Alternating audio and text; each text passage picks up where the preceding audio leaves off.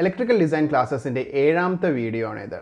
ഇന്ന് നമ്മൾ ഡിസ്കസ് ചെയ്യാൻ പോകുന്നത് ഇലക്ട്രിക്കൽ പവറിനെ കുറിച്ചാണ്. ഇതിന് മുന്നേയുള്ള വീഡിയോയിൽ voltage current inductance reactance resistance capacitance frequency എന്നിങ്ങനെയുള്ള ഒട്ടനവധി ബേസിക് ആയിട്ടുള്ള കാര്യങ്ങൾ ഡിസ്കസ് ചെയ്തു വന്നു. ഓക്കെ ഇന്ന് ഇവിടെ ഡിസ്കസ് ചെയ്യാൻ പോകുന്നത് ഇലക്ട്രിക്കൽ പവർ എന്നതിനെ കുറിച്ചാണ്. ഇലക്ട്രിക്കൽ പവർ എന്ന് പറയുമ്പോൾ നിങ്ങൾക്ക് എല്ലാവർക്കും അറിയായിരിക്കും വാട്ട് കേട്ടിട്ടുണ്ടാവും. പക്ഷെ അതിന്റെയൊക്കെ ഡെപ്തിലേക്ക് ഇറങ്ങിപ്പോയി. ഇലക്ട്രിക്കൽ പവർ ഡി സി സർക്യൂട്ടിൽ എങ്ങനെയാണ് എ സി സർക്യൂട്ടിൽ എങ്ങനെയാണ് വ്യത്യാസം വരുന്നത്?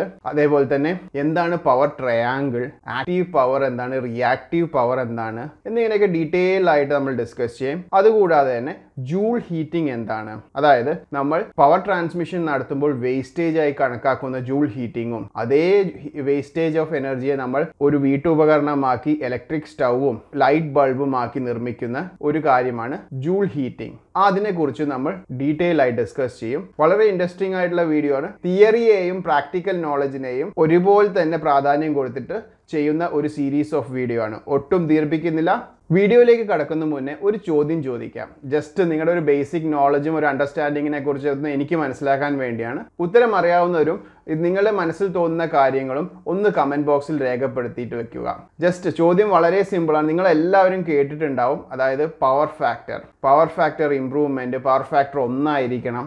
എന്താണ് ഈ പവർ ഫാക്ടർ നിങ്ങൾ എന്താണ് മനസ്സിലാക്കിയിരിക്കുന്നത്?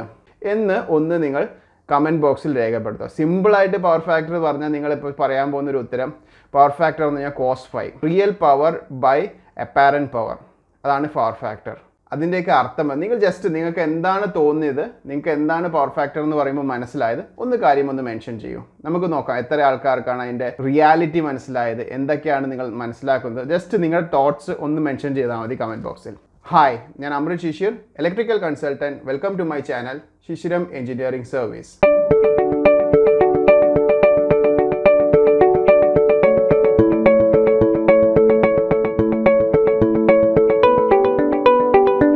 ഇൻട്രോയിൽ പറഞ്ഞതുപോലെ തന്നെ നമ്മൾ ഇന്ന് ഡിസ്കസ് ചെയ്യാൻ പോകുന്നത് ഇലക്ട്രിക്കൽ പവറിനെ കുറിച്ചാണ്. പവർ എന്ന് പറയുമ്പോൾ അത് ഇലക്ട്രിക്കൽ ആയാലും മെക്കാനിക്കൽ ആയാലും വർക്ക് പെർ ടൈം ആണ്. അതിന്റെ എസ് ഐ യൂണിറ്റ് വാട്ട്സ് ആണ്. വർക്ക് പെർ ടൈം എന്ന് പറയുമ്പോൾ ജൂൾസ് പെർ സെക്കൻഡ് ആണ് അതിന്റെ ബ്രേക്കപ്പ് ആയിട്ടുള്ള യൂണിറ്റ് വരുന്നത്. പി എന്ന് പറഞ്ഞ് നമ്മൾ റെപ്രസെന്റ് ചെയ്യും. നമുക്ക് ഡീറ്റെയിൽ ആയി നോക്കാം. പവർ എന്ന് പറയുമ്പോൾ rate of energy transferred per unit time ആണ് power P is equal to V Q by T അല്ലെങ്കിൽ വി ഇന്റു ഐ ഇതെങ്ങനെ വി ഐ ആയ എന്ന് ഞാൻ പറഞ്ഞുതരാം. നമ്മൾ പറഞ്ഞു power is equal to work by time ആണ്. നമ്മൾ വോൾട്ടേജിനെ പറ്റി ഡിസ്കസ് ചെയ്തപ്പോൾ പഠിച്ചിരുന്നു. Voltage is equal to work per charge അതായത് വർക്ക് ബൈ ക്യൂ ആണ് വോൾട്ടേജ് അഥവാ work is equal to V into Q അതേപോലെ തന്നെ കറണ്ടിനെ പറ്റി ഡിസ്കസ് ചെയ്തപ്പോൾ നമ്മൾ പറഞ്ഞിരുന്നു ചാർജ് പെർ ടൈം ആണ്. ക്യൂ ബൈ ടി അങ്ങനെയാണ് നമ്മൾ ഈ പവറിന്റെ formula P is equal to V into I അഥവാ വോൾട്ടേജ് ഇന്റു കറണ്ട് ആണ് പവർ എന്ന് പറയുന്ന ഫോർമുല ബേസിക് ആയിട്ടുള്ള ഫോർമുലയാണ് ഇവിടെ ഡിസ്കസ് ചെയ്യുന്നത്. നമുക്ക് ഇതിന്റെ ഡീറ്റെയിലായിട്ട് പോകുമ്പോൾ ഇതിന്റെ ഡി സിയിൽ എന്താണ് എ സിയിൽ എന്താണ് അതിന്റെ വ്യത്യാസമൊക്കെ ഡീറ്റെയിൽ ആയിട്ട് ഡിസ്കസ് ചെയ്യാം. Power in D C circuit അഥവാ പവർ ഇൻ റെസിസ്റ്റീവ് സർക്യൂട്ട് എങ്ങനെയാണെന്ന് നോക്കാം. അതുപോലെ തന്നെ ഞാൻ റെസിറ്റീവ് സർക്യൂട്ട് എന്ന് പറയുമ്പോൾ പ്രത്യേകിച്ചും ഞാൻ പറയും ഓമിക് അഥവാ ലീനിയർ ആയിട്ടുള്ള മെറ്റീരിയൽ ആകുമ്പോൾ ഈ ഓമിക്കും നോൺ ഓമിക്കും ഒക്കെ ഞാൻ ഇതിന് മുന്നത്തെ വീഡിയോയിൽ ഡിസ്കസ് ചെയ്തിട്ടുണ്ട്. അറിയാത്തവർ ആ വീഡിയോ കാണുക. ഓക്കെ ഞാൻ ഇവിടെ റിപ്പീറ്റ് ചെയ്തിട്ട് വീഡിയോയുടെ നീളം കൂട്ടുന്നില്ല. ഓമിക് ആയിട്ടുള്ള മെറ്റീരിയലിൽ അതായത് ഓംസ് ലോയെ അനുസരിക്കുന്ന മെറ്റീരിയൽ പവർ എന്ന് പറഞ്ഞത് എങ്ങനെയാണെന്ന് നോക്കാം. P is equal to V I എങ്ങനെയായെന്ന് നമ്മൾ ഓൾറെഡി ഡിസ്കസ് ചെയ്തു. P is equal to V I ആകുമ്പോൾ V is equal to I R അതായത് voltage is equal to I into R അതുകൊണ്ട് തന്നെ അത് മറിച്ചും തിരിച്ചൊക്കെ എഴുതുമ്പോൾ P is equal to V I P is equal to I square R is equal to V square by R basic ആയിട്ടുള്ള കാര്യമാണ്. P എന്താണ്? വി എന്താണ്? ഐ എന്താണ്? ആർ എന്നാണ് എല്ലാവർക്കും അറിയാം. Power in A C circuit നമ്മൾ ഇപ്പോൾ ഡിസ്കസ് ചെയ്ത് റെസിസ്റ്റൻസ് മാത്രമുള്ള സർക്യൂട്ടാണ് ഇത് എ സിയിൽ വരുമ്പോൾ നമ്മൾ റെസിസ്റ്റൻസ് മാത്രമല്ല ഡിസ്കസ് ചെയ്യുന്നത്. ഇവിടെ ഇൻഡക്റ്റൻസും കപ്പാസിറ്റൻസും വരും. കൺസിഡർ ചെയ്യുമ്പോൾ ഇതൊക്കെ എനർജി സ്റ്റോറിംഗ് ഡിവൈസസ് ആണ്. ഇൻഡക്ടർ ഒരു മാഗ്നറ്റിക് എനർജിയായും കണ്ടക്ടർ ഇലക്ട്രിക്കൽ ചാർജായും സ്റ്റോർ ചെയ്ത് വെക്കും എനർജി ഇതുകൊണ്ട് തന്നെ എനർജി ഫ്ലോ യൂണി ഡയറക്ഷനിലായിരിക്കില്ല എ സിയിൽ മൾട്ടി ഡയറക്ഷനിലേക്ക് അതായത് തിരിച്ചും മറിച്ചും ഇതിന്റെ പവർ ട്രാൻസ്ഫർ ചെയ്യും. അതോടുകൂടി തന്നെ സെർട്ടൺ പോർഷൻ ഓഫ് പവർ നമ്മുടെ ആവറേജ് ചെയ്തിട്ട് ഓരോ സൈക്കിളിലും റിയൽ പവറായി സോഴ്സിൽ നിന്ന് എക്യുപ്മെന്റിലേക്ക് ട്രാൻസ്ഫർ ചെയ്യും. ഇതിനെ നമ്മൾ റിയൽ പവർ എന്ന് വിളിക്കുന്നു. അതായത് ആക്ച്വൽ പവർ ട്രാൻസ്ഫർ അവിടെ സംഭവിക്കുന്നുണ്ട്. റിയാക്റ്റീവ് പവർ എന്ന് പറഞ്ഞു കഴിഞ്ഞാൽ certain portion of power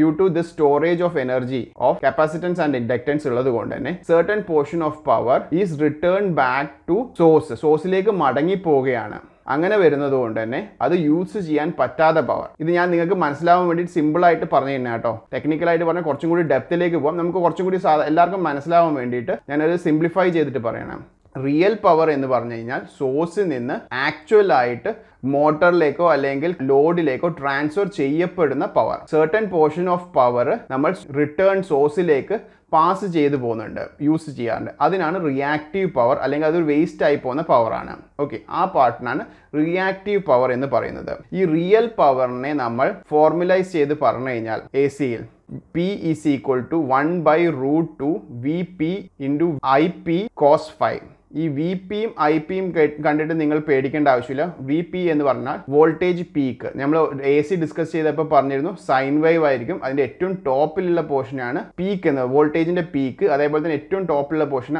I peak അഥവാ കറണ്ടിന്റെ പീക്ക് ആയിട്ട് പറയണം ഓക്കെ പക്ഷെ ആക്ച്വൽ നമ്മളത് കണക്കൂട്ടുമ്പോൾ നമ്മൾ വി പീക്ക് എടുത്തിട്ടല്ല കണക്കൂട്ടുക?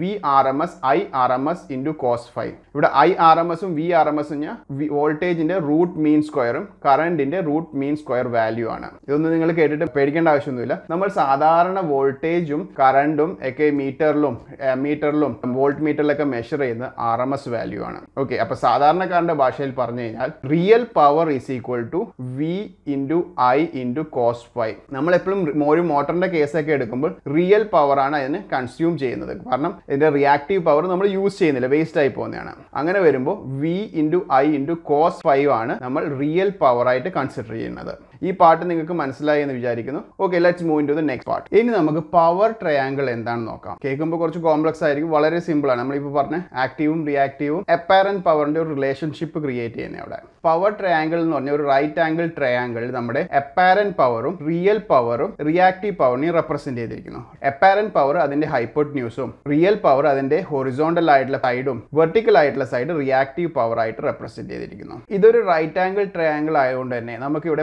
പൈത്തഗോറസ് തിയറം അപ്ലൈ ചെയ്യാൻ പറ്റും. അതായത് hypotenuse square is equal to sum of square of other two sides അതായത് apparent power is equal to active power square plus reactive power square അല്ലെങ്കിൽ real power square plus reactive power square അതുപോലെ തന്നെ real power is equal to apparent power cos phi reactive power is equal to apparent power sine phi ഇതൊരു right angle triangle ആയതുകൊണ്ട് മാത്രമാണ് ഇതൊക്കെ പറയുന്നത്. ഇവിടെ five എന്ന് പറഞ്ഞ സാധനം നമ്മുടെ വോൾട്ടേജും കറണ്ടിനെയും തമ്മിലുള്ള ഫേസിന്റെ ബിറ്റ്വീൻ ആയിട്ടുള്ള ആംഗിൾ ആണ്. നമ്മളിവിടെ ഇൻഡക്ടൻസും കണ്ടക്ടൻസും ഒക്കെ ഡിസ്കസ് ചെയ്തപ്പോൾ പറഞ്ഞിരുന്നു. പ്യുവർലി ഇൻഡക്റ്റീവ് ലോഡ് ആവുമ്പോൾ കറണ്ട് നയന്റി ഡിഗ്രി ലാഗിങ് ആയിരിക്കും. പ്യുവർലി കപ്പാസിറ്റൻസും വരും. നയന്റി ഡിഗ്രി ലീഡിങ് ആയിരിക്കും. ഇതേ നയന്റി ഡിഗ്രി ഈ ഡിഗ്രി അതായത് വോൾട്ടേജും കറണ്ടും തമ്മിലുള്ള ഫേസ് ആംഗിൾ ഡിഫറൻസിനാണ് ഇവിടെ ഫൈവ് എന്ന് പറഞ്ഞ ആംഗിൾ റെപ്രസെന്റ് ചെയ്യുന്നത്. അങ്ങനെ ആകുമ്പോൾ നമുക്ക് റിയൽ പവറിന്റെ ഫോർമുല എന്താണെന്ന് നോക്കാം. റിയൽ പവർ അല്ലെങ്കിൽ ആക്റ്റീവ് പവർ അതായത് നേരത്തെ ഡിസ്കസ് ചെയ്ത ഒരു സോഴ്സ് നിന്ന് ലോഡിലേക്ക് ട്രാൻസ്ഫർ ചെയ്യുന്ന ആക്ച്വൽ പോർഷൻ ഓഫ് പവർ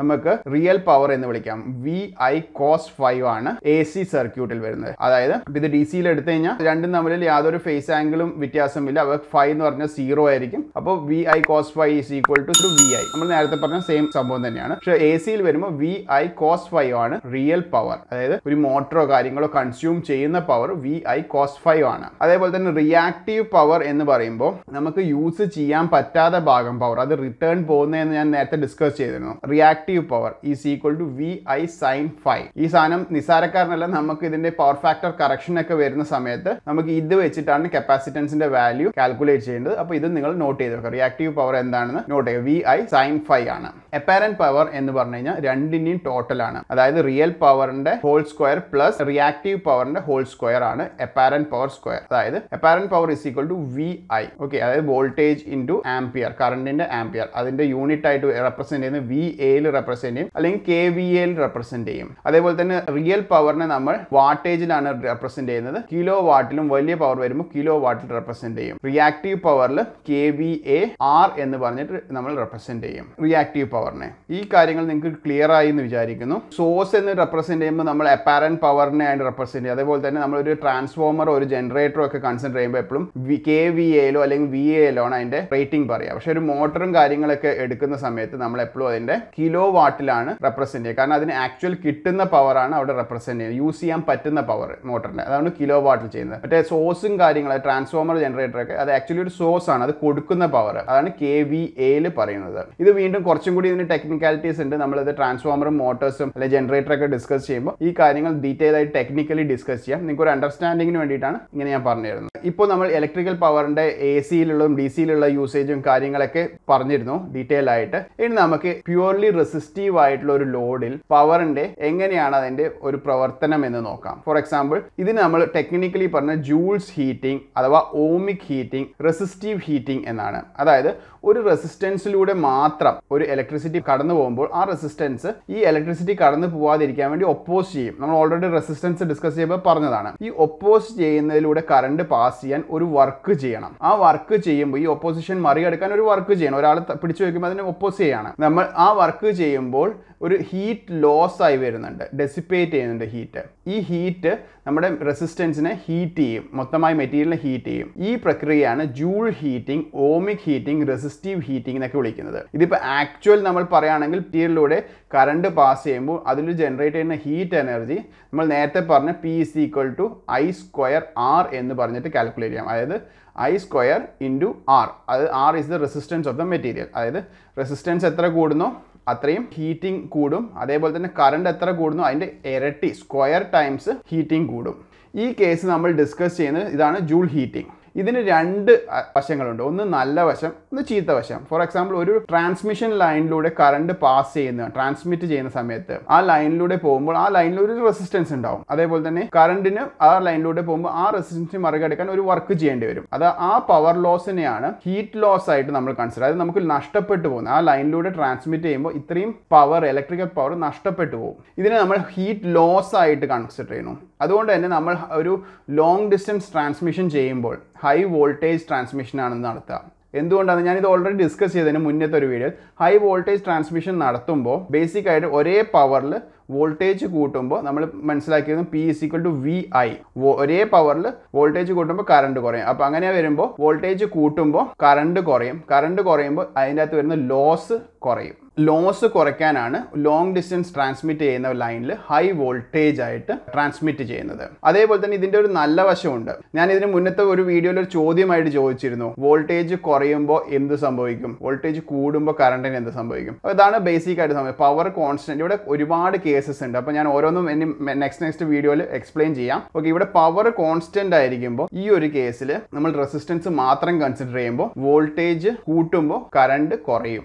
അതാണ് ബേസിക് ആയിട്ടുള്ള ഇത് സംഭവം. ഓക്കെ ഈ ഒരു സംഭവം നിങ്ങൾക്ക് മനസ്സിലായെന്ന് വിചാരിക്കുന്നു. ഇനി ഈ ഒരു ജൂൾ ഹീറ്റിങ്ങിന്റെ ഒരു പോസിറ്റീവ് വശം. നമ്മൾ വീട്ടിലെ ഇലക്ട്രിക് സ്റ്റൗ അല്ലെങ്കിൽ ഒരു വാട്ടർ ഹീറ്റർ ഒക്കെ ഈ ജൂൾസ് ഹീറ്റിംഗ് പ്രിൻസിപ്പിൾ വെച്ചിട്ട് വർക്ക് ചെയ്യുന്നതാണ്. അതായത് ഒരു കോയിലിലൂടെ കറണ്ട് കടന്നു പോകുമ്പോൾ അത് ഹീറ്റ് ചെയ്യുന്നു. ആ ഹീറ്റ് എനർജി ഉപയോഗിച്ച് നമ്മൾ ഭക്ഷണം പാകം ചെയ്യുന്നു അഥവാ വെള്ളം ചൂടാക്കുന്നു അങ്ങനെയൊക്കെ. അതേപോലെ തന്നെ മറ്റൊരു സംഭവമാണ്. ഇപ്പോൾ നമുക്ക് ടിന്റ് ആയിക്കൊണ്ടിരിക്കുന്ന സംഭവമാണ് ഫിലമെന്റ് ബൾബ് ഫിലമെന്റ് ബൾബും വർക്ക് ചെയ്യുന്നത് ഈ ജൂൾസ് ഹീറ്റിംഗ് പ്രിൻസിപ്പിൾ വെച്ചിട്ടാണ്. അതായത് ഒരു പെർട്ടിക്കുലർ വയറിലൂടെ മെറ്റീരിയലിലൂടെ അതായത് ടങ്സ്റ്റനിലൂടെ എനർജി കടത്തി വിടുമ്പോൾ ആ ടങ്സ്റ്റൺ ചൂടായിട്ട് അത് പിന്നീട് ഹീറ്റ് റേഡിയേഷൻ എമിറ്റ് ചെയ്യുകയും അതേപോലെ നമുക്ക് വെളിച്ചം തരുന്നു. അതാണ് ജൂൾ സീറ്റിംഗിന്റെ നല്ല വശം. അതിന്റെ മോശം വശം എന്ന് പവർ ലോസ് ആണ് വൈൽ ട്രാൻസ്മിറ്റിംഗ് ഇത്രയും കാര്യം ഞാൻ ഡീറ്റെയിൽ ആയിട്ട് പറഞ്ഞത് നിങ്ങൾക്ക് മനസ്സിലായെന്ന് വിചാരിക്കുന്നു. ഞാൻ നിങ്ങൾക്ക് അറിയാം പല കാര്യങ്ങളും അവിടുന്ന് ഇവിടുന്ന് കണക്ട് ചെയ്ത് ഒരു ടോപ്പിക്കിൽ ഇട്ടിട്ട് പറയുന്നതാണ്. അപ്പോൾ നിങ്ങൾക്ക് പലതും ലിങ്ക് ചെയ്യാൻ പറ്റും. നിങ്ങൾക്ക് അത് ഹെൽപ്ഫുൾ ആവുമെന്ന് വിചാരിക്കുന്നു. ഒരു കഥ പോലെ പറയാൻ വേണ്ടി മാക്സിമം ശ്രമിക്കുന്നുണ്ട്. അങ്ങനെ പറഞ്ഞാൽ മാത്രമേ നിങ്ങൾക്ക് അത് മനസ്സിൽ നിൽക്കൂ അതിനു വേണ്ടിയാണ് ഞാൻ ഈ വീഡിയോ ഇങ്ങനെ ഒരു രൂപത്തിൽ ക്രിയേറ്റ് ചെയ്ത് വരുന്നത്. ഹോപ്പ് നിങ്ങൾക്ക് ഈ വീഡിയോ ഇഷ്ടപ്പെട്ടു എന്ന് വിചാരിക്കുന്നു. ഈ വീഡിയോ ഇഷ്ടപ്പെട്ടെങ്കിൽ ലൈക്ക് ചെയ്യുക കൂടുതൽ ആളുകളിൽ എത്തിക്കാൻ ഷെയർ ചെയ്യുക. ഞാൻ വീണ്ടും പറയുകയാണ് ഇതൊരു സീരീസ് ഓഫ് വീഡിയോ ആണ്. അപ്പോൾ നിങ്ങൾക്ക് ഫുൾ ആയിട്ട് എന്റെ തിയറി മനസ്സിലാവണമെങ്കിൽ ആദ്യം മുതലുള്ള വീഡിയോ ഓരോന്നോരോന്നായിട്ട് കണ്ടുവരിക. കാരണം എനിക്ക് ഓരോ പ്രാവശ്യം ഓരോ ടോപ്പിക് എടുക്കുമ്പോഴും ഓരോ ഇതിനെപ്പറ്റി ഡീറ്റെയിൽ ആയിട്ട് എക്സ്പ്ലെയിൻ ചെയ്യാൻ പറ്റിയെന്ന് വരില്ല. അപ്പോൾ നിങ്ങൾക്ക് എന്തെങ്കിലും പോയിന്റ് മിസ് ആവുന്നുണ്ട് തോന്നുന്നുണ്ടെങ്കിൽ ഡെഫിനറ്റ്ലി അത് ഞാൻ ഇതിന് മുന്നത്തെ വീഡിയോയിൽ പറഞ്ഞിട്ടുണ്ടാവും. ഇപ്പോൾ ഒരു ഒരു ടേം നിങ്ങൾക്ക് മനസ്സിലാവുന്നത്. ഇമ്പിഡൻസ് എന്ന് ഞാൻ ഉപയോഗിച്ചു ഈ വീഡിയോയിൽ. അത് നിങ്ങൾക്ക് മനസ്സിലാവുന്നില്ലെങ്കിൽ ഡെഫിനറ്റ് ആയിട്ട് ഇതിന് മുന്നത്തെ വീഡിയോയിൽ ഞാൻ ഡീറ്റെയിൽ ആയിട്ട് പറഞ്ഞത് കൊണ്ടായിരിക്കും ഇവിടെ ആ ടെക്നിക്കൽ ടേം ഡയറക്റ്റ് ആയിട്ട് യൂസ് ചെയ്യുന്നത്. അപ്പോൾ ഇതിന് മുന്നത്തെ വീഡിയോ കണ്ടിട്ട് ഈ വീഡിയോ കണ്ടിന്യൂ ചെയ്യാൻ ശ്രമിക്കുക. ഹോപ്പ് നിങ്ങൾക്ക് ഈ കാര്യങ്ങളൊക്കെ വ്യക്തമായിട്ട് മനസ്സിലാവേണ്ടതെന്ന് വിചാരിക്കുന്നു. എന്തെങ്കിലും സംശയം അല്ലെ ഏതെങ്കിലും ടോപ്പിക്കിൽ വീഡിയോ വേണമെങ്കിൽ കമന്റ് ബോക്സിൽ രേഖപ്പെടുത്തുക. ഇലക്ട്രിസിറ്റിയെയും ഇലക്ട്രിക്കൽ എക്യുപ്മെന്റ്സിനെയും ഇതിൽ മാറി വരുന്ന ടെക്നോളജിയെയും പറ്റി കൂടുതൽ അറിയാൻ ഈ ചാനൽ സബ്സ്ക്രൈബ് ചെയ്യുക. പുതിയ വീഡിയോകൾ അപ്ലോഡ് ചെയ്യുമ്പോൾ നോട്ടിഫിക്കേഷൻ കിട്ടാനായി ബെൽ ബട്ടൺ ഓൾ എന്ന് പറഞ്ഞ് പ്രസ് ചെയ്യുക. പുതിയ വീഡിയോ ആയി വീണ്ടും കാണും വരെ. Good bye